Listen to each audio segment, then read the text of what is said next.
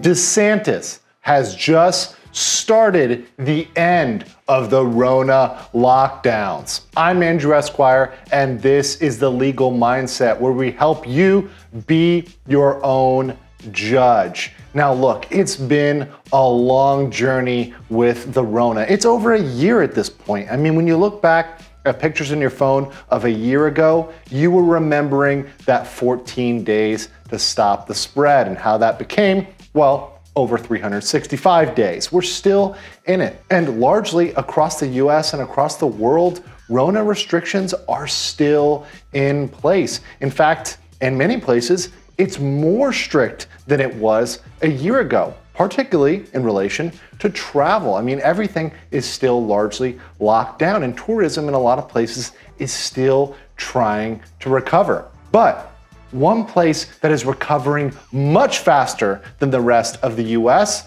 is the state of Florida, my home state. And why is Florida doing so well? Well, because they've largely lifted the Rona restrictions. And as of September of last year, they allowed most businesses to open. There was nothing at a state level preventing businesses from opening. But here's the problem the state wasn't the only entity trying to stop business, keeping businesses from open, keeping people from going out, keeping businesses really restricted and held back. No, it wasn't the state, it was the local government. And I think a lot of people forget exactly how much their local government affects them. Your local government is in charge of so many things. They're in charge of your schools, they're in charge largely of your roads, and they're in charge of most of the businesses. They do a lot of the licensing, the permitting, the regulations that apply to businesses just near you. That's done by local government. Think your city, think your county. Throughout the pandemic, these local governments have put in a lot of restrictions. They've said, hey, you've got to wear masks. Hey, you've got to social distance. Hey, you've got to follow these hygiene protocols. Hey, you've got to do all these things for your employees. And if you do all of those, we'll think about letting you open up and only at part capacity. Well, Governor DeSantis in Florida has said enough is enough. If you believe in the miracle Rona juice, if you believe that it will prevent you from getting the Rona, if you believe that science, well, if you believe that science, then you should believe that that will protect you from the beer bug, that you can go out and go about your business. And really, government, once you have that protection once you're able to go get it if you want it, like you are in the state of Florida and throughout most of the US, almost everybody is able to go out and get that little stabby if you want the stabby. It's eligible for pretty much everybody. In fact, even Joe Biden said that, hey, by May, everybody in the US should have access to a stabby if they want that stabby.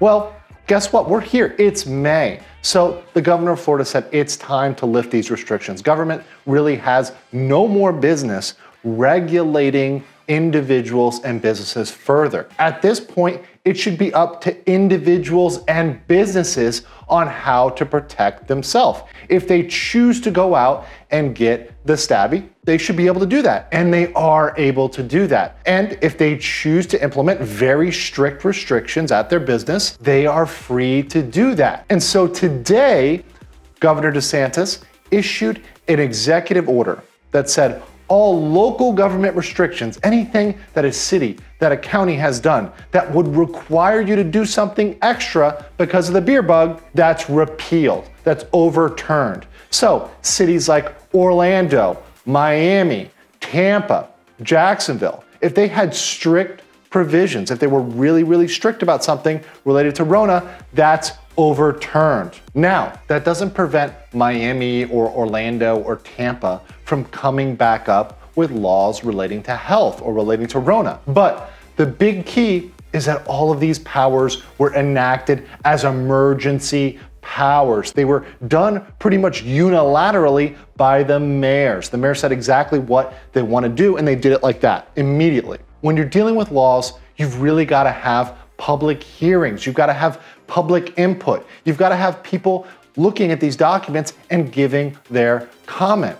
And let's be real, Rona is here and it's not going anywhere anytime soon. It's not going to disappear, just like other things aren't going to disappear that have been around for a very long time in the health sphere. Just like those other diseases aren't going to disappear, Rona is not going to disappear. And it's not the burning emergency that it was last year when we had no idea about it. We have more data, we have more science, so we're gonna study it over the years, we're gonna learn more about it, but we don't need these emergency provisions. We should be going through the regular processes. The state of Florida said, look, you've gotta have public hearings on this. You've gotta enact laws the regular way that other governments would enact laws. And honestly, that is going to subject them to a lot of scrutiny because they're going to have businesses saying, hey, don't enact these laws. And more importantly, Governor DeSantis in the Senate bill he signed, SB 2006, had said that anything related to the pandemic,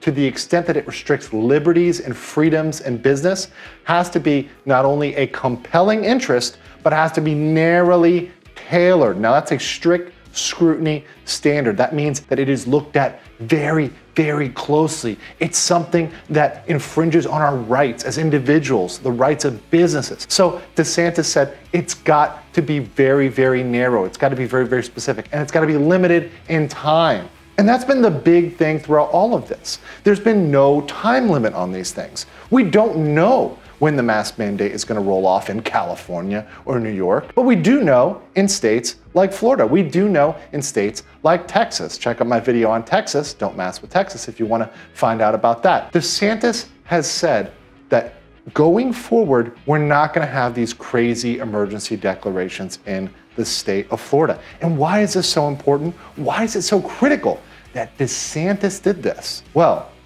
think about 2024 who is going to run on the Republican ticket in 2024. Now, Ron DeSantis is setting himself up as a leader for the red team.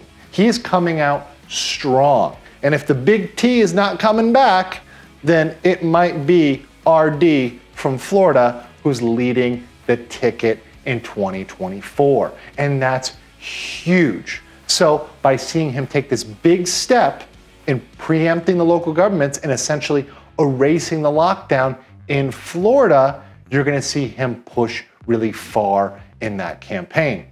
But expect liberal media backlash because, as always, it's still the war against Trump.